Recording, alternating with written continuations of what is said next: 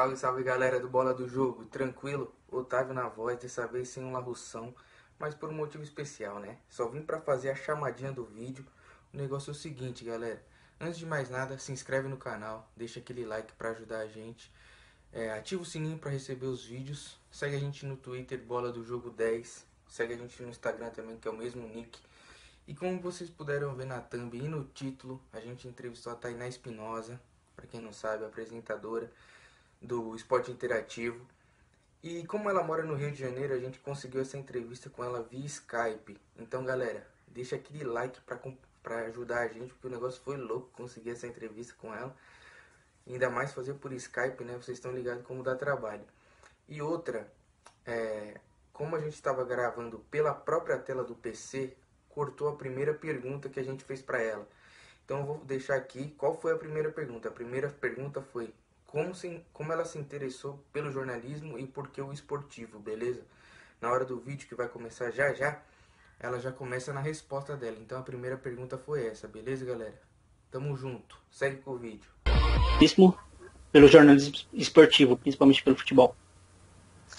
Então, na verdade, é, eu sou de uma família que gosta muito de esporte, assim. É, o meu tio é o Roger Espinosa, técnico de futebol. O meu irmão jogou quando era pequeno e eu ia muito nos jogos do meu irmão. Meu irmão jogava futsal, meu pai era técnico do time do meu irmão. Então, desde muito pequena, eu, vivi dentro de ginásio, eu, eu assistia muito futebol para torcer pelos times do meu tio. Então, eu sempre fui muito ligada a isso, assim, por essa questão familiar. Minha mãe é professora de educação física, o meu irmão, depois que parou de jogar, virou técnico de futebol. Então, minha família inteira é ligada nisso. Eu tenho um primo que é empresário, outro primo que era auxiliar técnico. Então, todo mundo é muito ligado no esporte. E em nenhum momento da vida eu pensei em fazer jornalismo. A verdade é essa. Como eu estou dizendo para vocês, todo mundo é ligado no esporte na minha família. Eu adoro praticar esporte. Adoro assistir e adoro praticar esporte. Então, quando eu estava na escola, eu queria fazer educação física. E logo que eu saí da escola, assim, acabou ali o colégio em dezembro, janeiro eu fiz o meu primeiro vestibular e fiz para educação física. E aí só fiz na federal, porque eu não tinha muita certeza e tal, e aí não passei. Aí eu fiquei seis meses é, fazendo alguns trabalhos em evento e tal. E aí o meu pai, toda vez que chegava em casa do trabalho, é, via que eu estava assistindo um canal de esporte. E aí era assim, de futebol a ginástica artística, de natação a judô. Eu assistia qualquer coisa que estava passando nos canais. E aí o meu pai falou, Tara, tu não gosta tanto de assistir isso, por que, que tu não faz jornalismo para trabalhar com isso? Falei, imagina, eu não gosto de ler, não gosto de escrever, não gosto de história, não gosto de geografia, não gosto de literatura, não gosto de nada que nenhum jornalista gosta normalmente. Ele falou, tenta, porque, né, vai que tu gosta. Quando tu sempre pega o jornal e sempre lê a parte de esporte. Então, tu lê coisas que te interessam. Tu, de repente, não gosta de ler esses livros aí do colégio. Aí eu fiz. Aí no primeiro semestre da minha faculdade já tinha é, muita coisa de prática. E aí, nesse primeiro semestre, eu já gostei, assim, muito da prática. Mas eu fiz jornalismo para trabalhar com esporte. Eu hoje até penso, assim, entretenimento, outra coisa. Mas eu não consigo me imaginar no jornalismo geral, cobrindo política, cobrindo crime, é, policial. Não me imagino não é, não é e acho que nunca será a minha ideia. É, sempre foi trabalhar com esporte mesmo. E qual foi sua primeira oportunidade para trabalhar no jornalismo esportivo? Foi no Grêmio, na assessoria de imprensa do Grêmio. Eu fazia um estágio, na época eu estava no segundo semestre, não, no, no terceiro semestre da faculdade, e eu fazia estágio na prefeitura de Porto Alegre, na assessoria de imprensa. E aí o meu tio foi pro sul. Meu tio conhece muitas pessoas no Grêmio, né? Porque trabalhou lá. E aí conversou com uma dessas pessoas e aí eu. Ele falou, ah, o assessor de imprensa, o chefe da comunicação, falou pra, pra tu ir lá. E aí tá, fui lá um dia e ele falou, olha, eu não tenho nenhuma vaga agora, mas se tu quiser, pode ficar aqui com a gente é, conhecendo, né? Trabalhando e tal. E aí o meu estágio era na prefeitura à tarde. Então eu resolvi que eu ia ficar lá pela. Eu não, não ia ficar sem trabalhar, né? de fato, ganhando dinheiro, quero dizer. Então eu ia no Grêmio de manhã até meio-dia, uma hora. Dali eu ia direto para a prefeitura, fazia o estágio de tarde e depois ia para a faculdade. E aí foi uns 10 dias assim. E aí esse é, chefe da comunicação me falou assim, ah, tu não tá no nosso ritmo, é, eu não tenho nenhuma vaga, mas se tu quiser continuar vindo, né, pra aprender e tal. Aí eu falei, ah, vou continuar. Não, tô perdendo nada. E aí eu continuei. E aí deu umas duas semanas, saiu um estagiário. E aí ele falou, não, agora acho que tu pegou o ritmo. Tu quer vir pra cá? Aí eu saí da prefeitura e fui pro Grêmio. E aí o Grêmio, nessa época, é, logo que eu entrei, o Grêmio já tinha uma TV pela internet. O Grêmio foi o primeiro clube no Brasil a ter é, TV do clube, né? E aí eu comecei na TV do clube, aí a, a, o Grêmio também fez uma rádio pela internet. E aí o meu chefe disse, é, Tainá, tu já fez. Uh, tu ouve rádio? Eu falei, ouço. Por quê? Aí ele, porque vai ter um jogo, isso era uma sexta-feira, vai ter um jogo amanhã e eu queria te colocar para fazer goleira, que a gente chama no sul. É, acho que em São Paulo, no Rio, é meta, ou gol, que é o repórter que fica atrás do gol, é o repórter que dá depoimento de gol, que dá depoimento dos lances, que no fim do jogo entrevista os caras e tal. E aí ele disse, estou pensando em te colocar. E aí eu, hum, será que eu já aceito esse negócio? E aí eu falei, não, pode me botar. E aí eu fui para casa, botei no YouTube e fiquei ouvindo um monte de depoimento de gol de vários repórteres. E aí no outro dia fiz o jogo. E aí eu lembro que quando acabou o jogo, e era um jogo de juniores, não era nem do profissional. Uhum. E aí quando acabou o jogo, é, ele me disse, nasceu uma repórter. E aí dali eu passei a fazer os jogos do profissional, aí viajei com o clube, aí fiquei trabalhando um ano e meio no Grêmio, Aí morei fora, voltei, fiz mais seis meses de estágio. E aí acabou o meu tempo de estágio, né? Porque é o máximo de dois anos. E aí depois eu fui pra Band lá em, lá em Porto Alegre. Ah, putz, bacana. E lá na Band, é, você chegou a cobrir uma Copa do Mundo, né? Se não me engano, a Copa do Mundo aqui no Brasil de 2014. Como que, como que é, é essa experiência e essa sensação de cobrir uma Copa do Mundo? É bem louco. eu falei pra é. vocês que eu falei fora, né? É, quando eu morei, eu morei em San Diego, e quando eu morei lá eu tinha 21 anos. E aí eu lembro que toda sexta-feira tinha um prêmio que a escola dava assim para os alunos.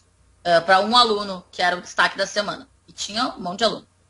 Daí teve uma semana que eu ganhei, fui o destaque da escola, não sei o que, e tinha que ir lá na frente falar.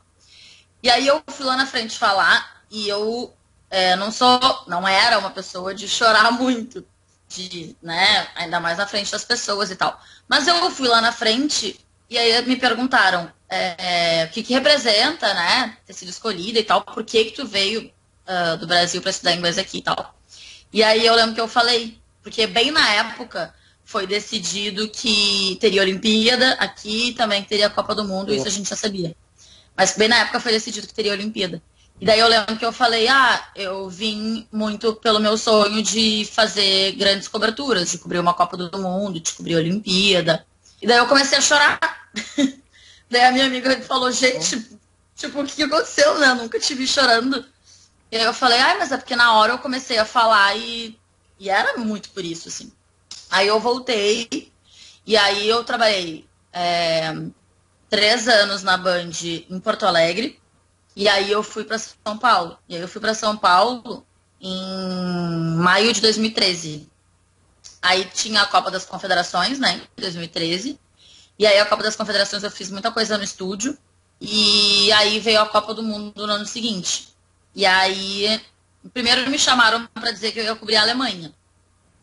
E aí eu ah, já comecei a pesquisar um monte de coisa para fazer aula de alemão, assim, para ter o básico, né, para pelo menos conseguir chamar os jogadores zona mista, que se tu chama em alemão, o cara já ouve diferente. Aí tá, faz a entrevista em inglês, porque a entrevista em alemão achei que eu não ia conseguir fazer é, fazendo alemão ali dois, três meses.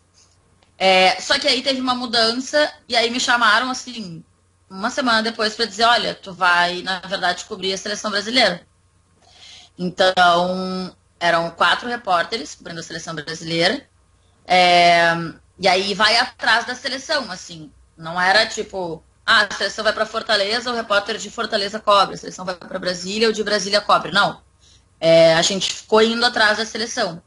Então, assim, foi uma cobertura, foi uma experiência incrível, uh, mas uma cobertura muito cansativa. Muito, assim, muito.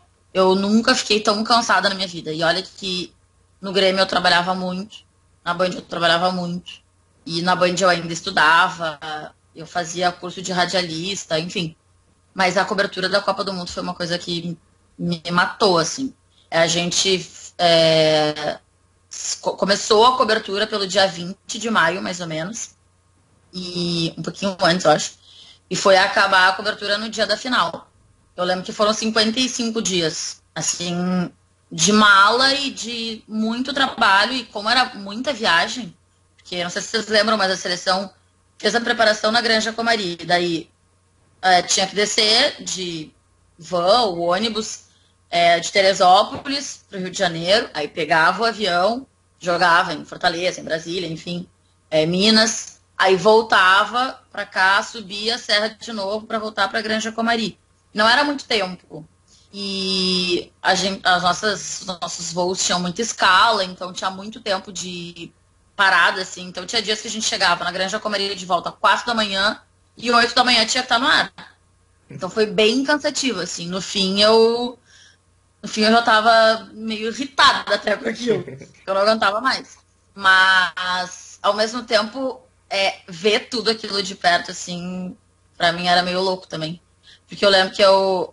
É, a minha função era fazer o, a reportagem factual do dia e abri o jornal da Band, a minha matéria. Então, eu tinha um deadline, né? E era um deadline muito curto, assim, porque o jornal da Band abria às 7h20. E eu precisava colocar, como era factual, era a notícia do dia, precisava fechar a matéria, escrever o texto muito rápido. E aí, às vezes, eu tinha que fechar o texto antes de acontecer a entrevista coletiva, porque a entrevista coletiva acontecia tipo seis e meia. E aí não daria tempo dos editores é, conseguirem editar a matéria. Então eu ficava assistindo o treino e ao mesmo tempo já é, escrevendo o texto, só que aí acontecia alguma coisa e aí tinha que mudar tudo. Então foi bem intenso, assim, para mim. Mas ao mesmo tempo, ver a minha matéria todos os dias abrindo o jornal da Band dava um puto orgulho, assim. Porque ah, era a coisa mais importante que estava acontecendo no mundo naquela hora, principalmente no Brasil, né? Sim. E qual foi o seu momento mais marcante na Band? Foi a Copa mesmo? Ou teve algum que te chamou mais atenção, assim? Ah, eu, eu gostei muito de fazer a Copa. Acho que foi. Acho que a Copa foi. É que assim, na Band eu fiz. Um, quando eu, na primeira semana que eu cheguei, a Band ia, ia cobrir a. E agora, o que, que era aquilo? Era Fórmula Indy, é, a, a etapa de São Paulo da Fórmula Indy. E aí me disseram assim, isso é minha primeira semana, eu comecei a trabalhar na terça, isso era sábado ou domingo. Disseram, Tainá, tu vai ficar no estúdio, é, vai ser tudo apresentado lá do lugar que vai acontecer a prova. Mas se cair o sinal, vai cair pro estúdio, né? Vai cair pra ti. Mas não te preocupa, nunca caiu. E eu, tá bom, né? Nunca caiu. Vou ficar aqui, tranquilo no estúdio. Claro que caiu, né? Porque, afinal de contas, Lady Murphy. E aí caiu e, tipo, não, não tinha nada assim para chamar, porque caiu tudo, sabe? E isso eu tinha 23 anos. Eu tinha me formado fazia um, dois anos. E aí caiu e eu, oxe. E aí, mas aquilo foi bom, assim, porque eu consegui segurar bem, dar uma improvisada. E aí eu lembro que ainda me mandaram chamar um repórter numa avenida um nome que eu já não me lembro mais, mas que era um puta nome difícil. E eu morava em São Paulo, então eu não conhecia a avenida antes, nunca tinha ouvido falar uhum. no nome do, da avenida. E aí me falaram no ponto, e eu tô, tipo, enrolando, falando alguma coisa, né? E aí me falam o nome da avenida no ponto, e eu, gente, mas eu não faço ideia de que estão falando aqui. daí eu dei uma respirada, falaram de novo o nome da avenida, daí eu consegui chamar o repórter. Mas foi bom porque aquilo a gente deu confiança, assim, a, aos chefes de me colocarem é, no estúdio. Então, para mim foi legal, por exemplo, quando ali na folga de Natal, a Renata uh, sai de férias, né? Renata Fã. E aí eu apresentei o jogo aberto uma semana. E para mim aquilo foi muito legal, porque eu assistia o jogo aberto assim há muito tempo, né? Então era meio que tá. Ah, tá meio que no lugar que tu sempre sonhou, assim, é que nem cobrir a Copa. Tu, tu tá ali, eu não sei, mas eu tenho sempre a impressão de que na hora que eu tô nos lugares eu eu não não cai a ficha, sabe, que eu tô ali. Cai a ficha depois. Eu acho que se cai a ficha ali na hora, me atrapalharia até, não sei. Eu meio que deixo rolar, assim. Eu lembro a primeira vez que eu fiz uma transmissão é, de jogo, assim, como repórter, foi um Grêmio Corinthians, é, trabalhava no Sul ainda, e o Luciano do Vale era vivo ainda e era o narrador. E, pô, o Luciano do Vale é uma lenda, né? Assim, para todo mundo, para todo esportista, pra gente ainda mais. E aí, tá, eu fiz o jogo e tal. Aí no dia seguinte, é, os, um dos meus chefes lá no sul me perguntou: E aí, como é que foi o jogo e tal? Não sei o quê. E aí eu falei: Ah, foi tudo bem. Daí ele: Assim? Tudo bem? E eu: É, tudo bem. Ele, Renato, é meio louca, tu não entendeu? Eu acho que tu fez uma transmissão ao vivo em rede nacional é, com o Luciano do Vale. E aí que começa a me cair a ficha, sabe? Porque eu acho que na hora, se eu vou fazer o jogo e percebo que eu tô fazendo isso, eu ia ficar nervosa. Então, eu deixo rolar, assim. Mas eu acho que foi apresentar o jogo aberto e cobrir a Copa do Mundo foram é, meus momentos marcantes, assim, na Band em São Paulo. Caramba, bacana. Imagina uma transmissão com o, o Luciano do Vale, deve ser assim, incrível. E aí depois de um, de um tempo, né, você foi para o esporte interativo. E lá no esporte interativo, você acabou tendo mais liberdade para poder trabalhar ou você também teve muita liberdade para trabalhar na Band? No caso que nem no esporte interativo, você já uhum. apresentava os outros programas e tal.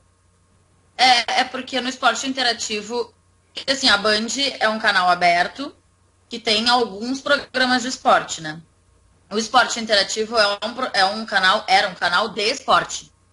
Então, tem mais programas. E eles me deram, não sei se mais liberdade, acho que pode ser mais liberdade. É porque na Band eu apresentava alguns programas às vezes, mas eu era repórter, né? Eu apresentava quando a Paloma estava é, de folga ou de férias, quando a Renata tirava férias, mas na Band de fato eu era repórter. E quando eu fui contratada para o esporte interativo, eu fui contratada como apresentadora porque eu já apresentava algumas coisas na Band, no Sul eu também apresentava um programa, e aí aqui eles me contrataram como apresentadora. E a, o esporte interativo tem um estilo muito próprio, assim, né? De brincar muito, de, de ser muito astral, assim, de não, não ter muito problema de falar bobagem, de brincar. E, e aí eu percebi aquilo, assim, e eles me disseram, né, olha, fica tranquila, pode brincar aí à vontade. E aí eu isso eu consigo brincar muito mais. E como tem no esporte, tinha no esporte interativo também programa de debate, é, eles me colocavam a fazer programa de debate como comentarista. Então, e no, e no esporte interativo, assim, eu realizei meu sonho de cobrir uma final de Liga dos Campeões, né? Porque quando eu estava é. na faculdade ainda, é, o meu convite de formatura foi. Hum, eu tinha que o convite inteiro, assim, cada é, aluno colocava ali a sua, o seu sonho de cobertura. E, daí eu coloquei que meu sonho de cobertura era uma final de Liga dos Campeões. E quando eu vim para o esporte interativo, eu vim em 2015. E daí 2016, é, eu lembro quando eles me ligaram, eu lembro tudo, assim. Eu lembro que era de tarde, eu lembro que eu estava na rede, eu lembro tudo. E aí eles falaram, ah, é, a gente queria que, que tu vai fazer na semana tal? Semana do dia 20 de maio. E aí eu falei, nada, eu vou ficar aqui trabalhando. E aí eles, ah, então a gente quer dizer que tu vai cobrir a final da Liga dos Campeões. E eu comecei a saltar em casa, a gritar no telefone. e o meu chefe ria da minha cara. E dizia, o que, que tá acontecendo? E eu, ah, tô muito feliz. E daí depois, quando eu contei essa história para ele do convite da formatura, ele entendeu mais, né? E aí depois eu já fiz mais duas coberturas de final de liga. Então, assim, é, eu, me sinto bem realizada. E aí galera, curtiram essa primeira parte? Então o vídeo ficou muito longo, então a gente fez em duas partes, certo? Para você que curtiu, para você que curtiu esse vídeo, deixa o like, compartilha com os brother e quinta-feira sai a parte 2, onde ela fala mais sobre é, machismo no, mundo do esporte, no mundo do jornalismo, se ela já sofreu algum tipo de assédio, algum tipo de baboseira desses caras xarope que tem no estádio. Ela conta mais a parte feminista dela, certo? Like, compartilha com os amigos que quinta-feira a parte 2 está no ar. Demorou? Valeu, galera. Tamo junto.